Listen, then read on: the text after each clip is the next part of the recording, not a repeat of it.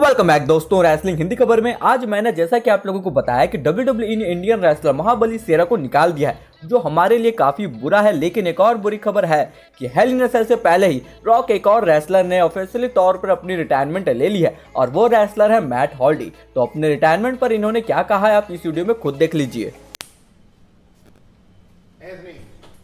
Thank you for taking the time to capture this. I just want to tell you, uh, I've enjoyed working with you on live events. I just wanted to take a moment and I want to address the, the WWE Universe.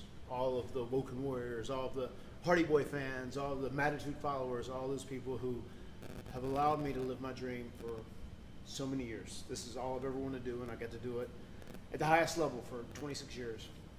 And uh, I'll never forget the reaction the WWE Universe gave us at WrestleMania 33 upon returning. It was truly one of the greatest moments of my career. WrestleMania 34 was a great moment, winning that Andre the Giant Battle Royal.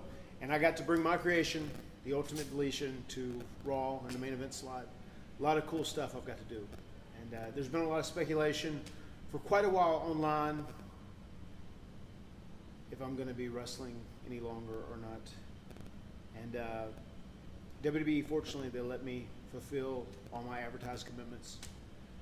But tonight, here in Corpus Christi, this was the last advertised commitment I had, and uh, I never, I never say never, or as Woken Matt Hardy would say, never say never.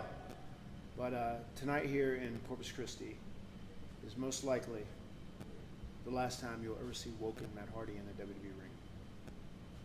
Well, Matt, what's next? Well, I have two young kids and a wife. It's for me to go. It's time for me to go home.